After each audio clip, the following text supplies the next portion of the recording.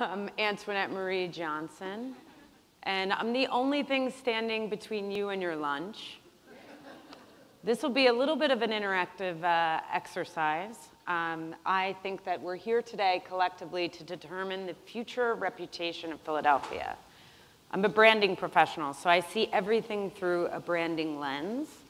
And I'm not quite sure if you know, but uh, the Brookings Institute has recently invested $300 million in the reputation of Philadelphia. They have determined, the largest global research institution in the world, that Philadelphia has a perception problem. Is that news to anybody? I think that the kid before me had it right. He, he's 18 years old and he already made it to the stage to say, fuck Tom Brady. and I'm here to tell you news that you might already know. Um, but no, it, it, they've determined that the perception problem globally in Philadelphia has actually costed us in the region a lot of money. We've been less able to attract talent and employers. We've lost money.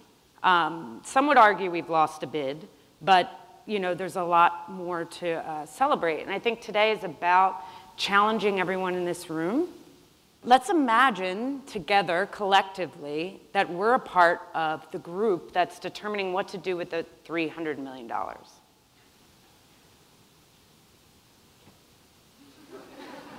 we have a seat at the table and they're all looking at you.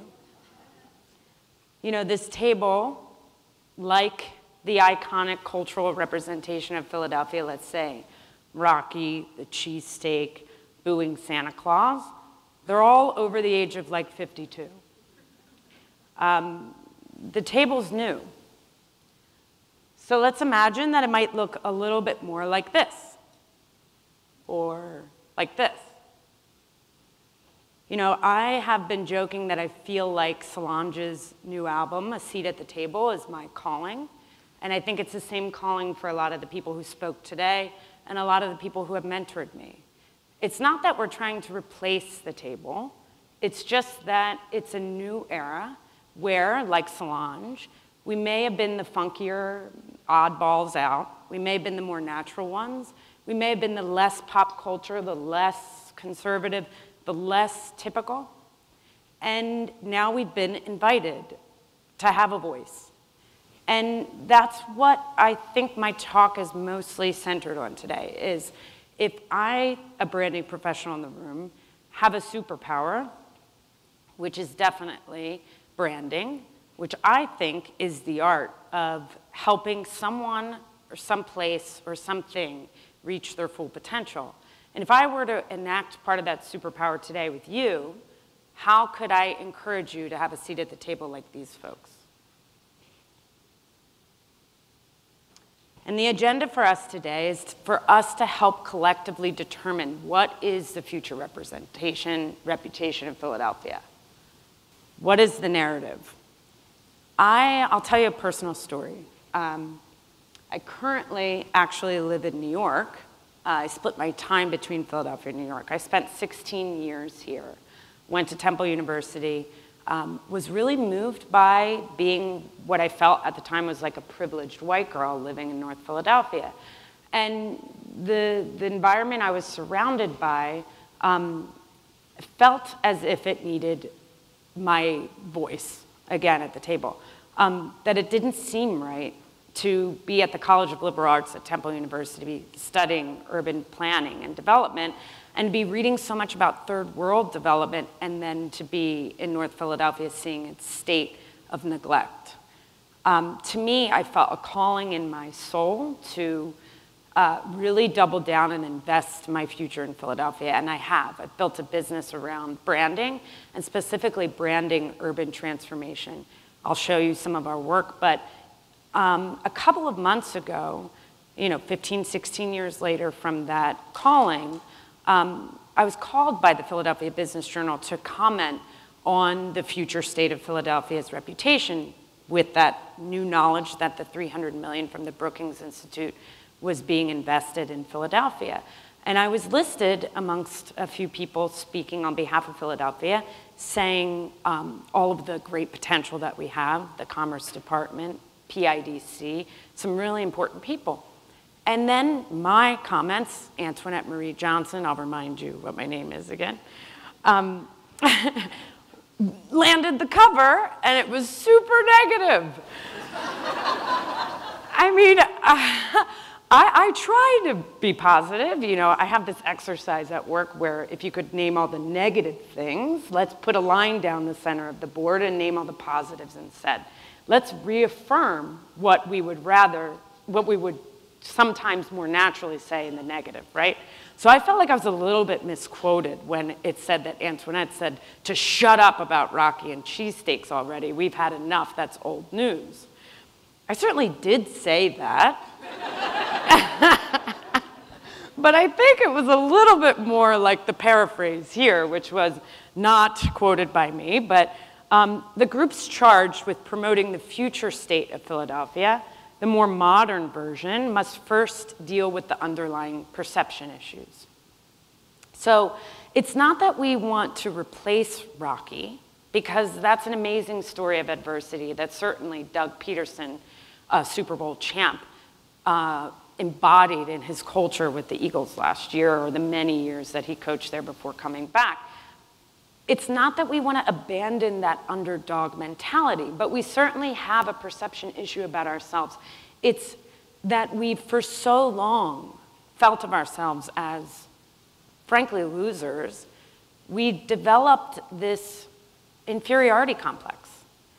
And now that I live in New York, and by the way, I stay highly connected to Philadelphia, so much so that I've been asked to speak on the stage, and then my name's not pronounced right. Chris is never going to live that down. Um, uh, living in New York, but staying highly invested in Philadelphia, the headquarters of our company is here and will stay here as we grow. But living in New York has taught me that, man, people in New York and LA, for instance, they scream really loudly about something that's not even as good in some cases as we've got it. So I feel a calling even more so to say, how do we work on this self-image problem? So this is our business, and we try to create a positive culture. We're called Cohere. Our main objective is to do what we do best, which is create cohesiveness amongst messaging or aesthetically. It doesn't mean that everything looks the same. It means that there's some cohesion some unification around shared values and goals. And I think everyone in this room, we could presume, if they paid for a ticket or paid for a discounted ticket or were drug along by a friend or a speaker, um, you presumably agree that Philadelphia is great, that there is a lot to be thankful for here, and that there's a lot to celebrate. So, Cohere, our whole entire mission is about uncovering what that greatness is through our amazing skill set of design. So design is our tool, right? Design is what we do on a regular basis, and it's what helps create culture and showcase values that, again, presumably we all share. And if values are determining our future, I'd like to kind of paint for you how we use design. And then at the end, I have a couple of questions to see how we can pull out your superpower to also highlight some of the best things about Philadelphia. And maybe as a group, collectively exit this room with an agenda that's shared. So we have pledged our design skill set to a mission, which is to revitalize Philadelphia. We try to do that with spaces that you might recognize, the Schulson restaurants, Harp and Crown in this case, with spaces that were formerly abandoned or underutilized. So this is 1525 Sansom Street, which was formerly a factory uh, outlet store for Gap. So um, they moved that store and it, it, was, it was abandoned for 15 or 12 years. Um, and now it's a beautiful restaurant. We help conceptualize these spaces. Um, 990 Spring Bar- Garden is a good example. So, first one was restaurants. I think co- collectively, our group has branded and helped market 22 restaurants in the last uh, couple of years. This is 990 Spring Garden. This is a commercial office space that is now revitalized and is part of the Spring Arts movement where the new Kismet just opened. Versailles, this is a uh, Philadelphia landmark that was redeveloped. It's an apartment building. I'm not sure if you can see, but I chose some of the images, although we have a ton. Um, and now we're doing projects in other cities. But um, I, I'm hoping you kind of see there's a commonality amongst our design ethos, which is to highlight and recreate and make new, but not lose the old. And so, in the spirit of that, with redesigning Philadelphia's new reputation, I kind of wanted to talk about Hip City Veg, which I'm not sure if you know, but she has, I think, three locations in Philadelphia and is in expansion mode in DC. Um, they're all plant based vegan fast food, and they have a cheesesteak that's all plant based. Um, and I think it's a perfect example of the future being plant forward. Uh, and so, if we've pledged our design skill set to highlight and recreate what was, let's say, underutilized, abandoned, or old, what can this room work together on? So, the question still remains if we're here together as a unit, it's technically a democracy. Um, and if you have a new seat at the table, let's ask ourselves some questions. So I'd love to hear from the audience now. Uh, since that article, I've been trying to think of ways that we could do the line down the middle of the page. And so instead of saying shut up about Rocky and the cheesesteak, on the right hand side of that page would be shout out, you know, the things that are new, different, better to highlight, the future. Uh, how can we collectively retire the cheesesteak? For instance, I'll give you an example. There's um, the, the most popular article on Visit Philly's website, the most visited website for tourism to Philadelphia. I think they have 1.2 million visitors a year. The most commonly visited article on that website is top five places to eat your Philly cheesesteak. If there's a demand, right? If you're constantly asked the question when you go on vacation, Geno's or Pat's? Or, you know, you say you're from the Philadelphia region, people go, oh, you must love cheesesteaks, right? How do we collectively retire that vernacular? Tax it. Tax it. Urban farms, Reading Terminal Market, holes in the walls. I think one of the things I've been learning on a global food scale is that Stephen Starr is one heck of a respected entrepreneur, restaurateur, right? It's incredibly difficult to do 27 different concepts, let alone open 30 plus restaurants, uh, majority of which are located in Philadelphia. The Starr universe has spawned incredible restaurateurs who have become little entrepreneurs in Philadelphia. So what was the old BYOB is now the new super cool hotspot, um, and there's a plethora to highlight. So I think that the point of this question was about collectively retiring the cheesesteak narrative and refusing to give into it. Um, it's a call to action to say, let's just not even answer the question. Let's talk about what else there is. And instead of giving into the demand of cheesesteak being the theme, let's talk about something completely different. And because of time, I'm going to move on to the second question. So, what is more valuable to highlight moving forward? Fairmount Park. The people. People. The real park. Yeah. What was that? The food and art scene. The art scene is so unique. The food scene, we've all agreed, is really unique. So how can we like highlight where they might merge together too? Walkability of our grid. Walkability, great one. Like, I think the grid itself, the, the intrinsic design of it, we are more walkable than most cities.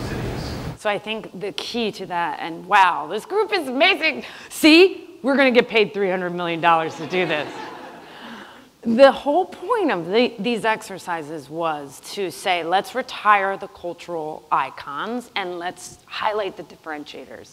So walkability is such a good one. Walkability and some of the best public transportation in, in the United States. So instead of giving into the, you know, really old vernacular of movies that, you know, aren't as relevant today, or, um, or, or uh, something that hardly of us probably eat once per year, let alone all the time. Uh, let's highlight the differentiators.